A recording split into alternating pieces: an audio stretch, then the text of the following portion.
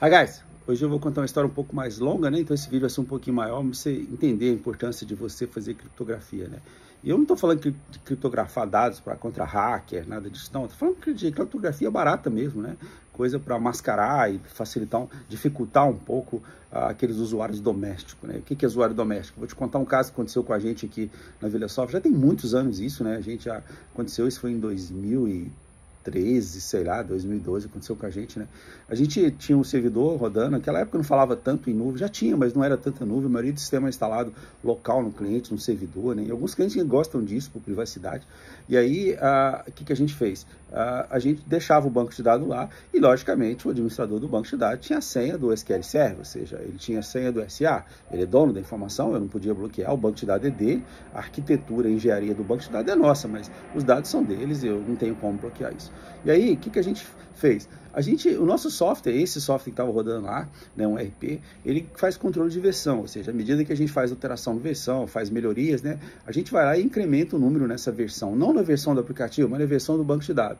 Aí a gente garante com que o executável, né, o, RP que está lá trabalhando, né, a aplicação, ela também tem uma versão, então ela checa qual é a versão mínima do banco de dados que ele precisa para trabalhar, ou seja, se tem aquele patch, se tem aquele update, né, se tem aquele advent que você colocou lá, se, se não vai dar problema. Então o software entra, verifica, ah, estou na versão 2, deixa eu checar, ah, o banco está na versão 1, pô, avisa para o usuário que não dá, ele tem que rodar um patch de atualização aí, para a gente não ter os problemas que você, que você conhece bem. E aí isso rodou muitos anos, isso é uma coisa que a gente usava desde sei lá, 1990, sei lá, 88, sei lá, 86. Sempre usamos essa mesma técnica, desde a época do COBOL lá, das outras linguagens, a gente fazia isso. E rodava muito bem, não tinha problema nenhum, né? E até que um dia esse cliente apareceu com um problema lá na empresa dele, e a gente não conseguia resolver esse problema, sabe? Tava falta de variáveis no banco de dados, aquele errinho chato lá, né? Era Delphi na época, né? É, hoje é C Sharp, mas estava com Delphi. E aí a gente não, não conseguia achar, porque é, o banco de dados grande, é um RP pesado, né? E aí, cara, com muito custo, com muito custo, a gente se ligou, foi lá log, né? E não tinha nada, não tinha informação nenhuma. E nós descobrimos depois, muito tempo depois, nesse caso a gente refez o banco de dados, reconstruiu, conseguiu resolver lá. Mas muito tempo depois, nós ficamos sabendo que o, o administrador lá da empresa, o cara que era o, o, o gerente do projeto lá, ele teve um problema com a versão do software nosso, ou seja, fizemos upgrade do software, pulou tipo para a versão 14 e o banco de dados está na versão 13, e aí o software avisou para ele, olha, você tem que rodar o update, rodar o seu patch aí para converter o banco de dados, ou seja, o patch nada mais é do que vai criar os bancos, fazer os ajustes do banco de dados para ficar sintonizado com a versão do RP. O cara recebeu essa informação no sistema, o que, que ele fez? Ao contrário de baixar o patch, que na época era, tinha que baixar na internet, rodar esse, se o banco, o próprio software nosso fazer isso, o que, que ele fez? Ele foi lá, e deu um update na tabela de parâmetros que, do banco de dados que tinha a versão. E até então, a gente não criptografava essa informação. Era um campo, você dava um update lá, se o cara tem acesso ao banco de dados, é um administrador, portanto é uma pessoa de confiança, passa para todos os requisitos, faz, uh, check back, faz background check, tudo da pessoa, ninguém ia fazer isso, mas o cara fez. Cara foi lá e meteu a mão no, no parâmetro e voltou, e do parâmetro estava 13, foi e meteu 14 lá. O que que acontece?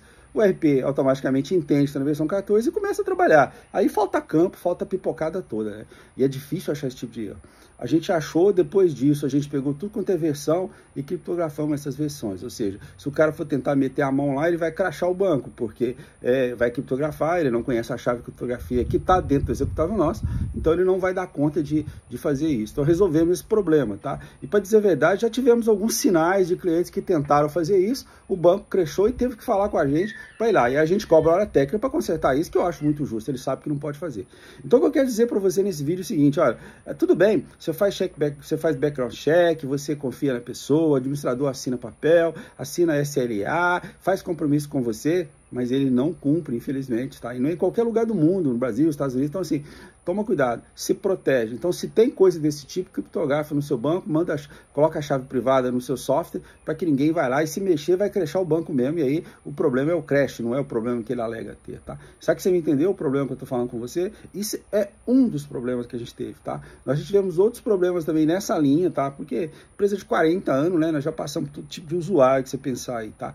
E eu tive um outro caso agora, cara, eu tenho que deixar para depois, não vou falar para você. O cara foi lá no banco, o SQL Serve, pediu o banco para fazer a replicação de banco de dados. E você sabe que no SQL Serve ou em outros bancos, a hora que você aciona a opção de replicação de banco de dados, o que, que ele faz? Ele, campa, ele cria um campo a mais em cada tabela ID. Poxa, vai parar de funcionar seu software. Seu software não está esperando aquele campo a mais na tabela, no seu banco de dados, né? E aí cresceu. Então tem vários casos desses que a gente hoje é um pouco mais chato em liberar a senha do banco de dados. Mesmo o cara sendo dono do banco de dados, a gente dá uma esclarecida, faz um curso, treina o cara, conta para ele os casos, para ele não ter dor de cabeça. Porque no fundo, quem sai perdendo é a gente como software, porque o cara fala que o software não funciona, mas a empresa dele perde muito mais, porque a gente vai cobrar para fazer isso e você tem que cobrar para a pessoa aprender, tá? Bom, deu entender? Então, criptografa tudo quanto é parâmetro, informação que você puder no seu banco de dados, porque não confia nas pessoas ditas confiança, com background check, porque nem sempre elas ocorrem, tá bom? O melhor é prevenir, tá bom? Um grande abraço para você aí. Excelente trabalho.